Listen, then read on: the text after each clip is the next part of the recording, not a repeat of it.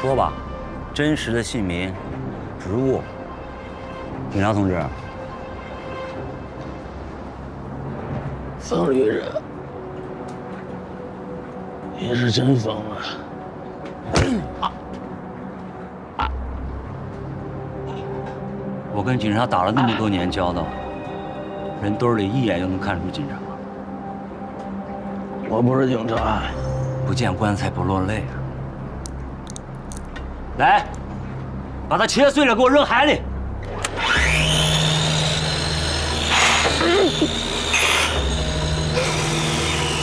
我说，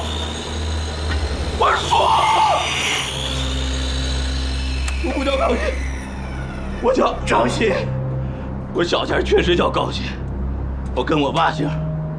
我没上初中时，我爸就死了，我妈领着我加了一个体校教练，那教练瞅我不顺眼，天天打我，然后我就想跑，他给我抓住了，给我送到沈阳体校了。后来我不上学了，我就跑了，我跟了一个练田径的姑娘，天天谈恋爱。结果让那姑娘她哥给发现了，也天天打我，也瞅我不顺眼。我急了，我拿刀就把他哥给攮了。我一害怕，我又跑了，我跑了，办了个假身份证，我就叫回高新了。我咋的了？我先打工，然后当保安，我哪儿错了？我一句假话都没有，你咋去。金海打零工的工地在哪儿？海富集团华茂地产。当保安在哪儿？丰南白路。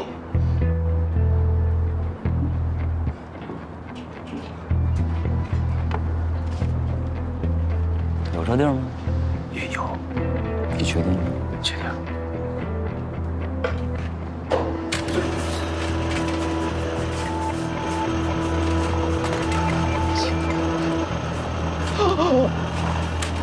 哎呀，我去！哥，裴军哪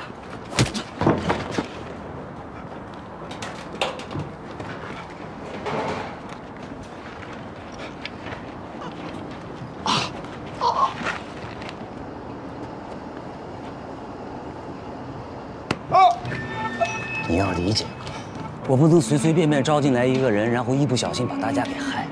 你们他们哪一个进来没有过这一关？想挣钱是吧？还有一关。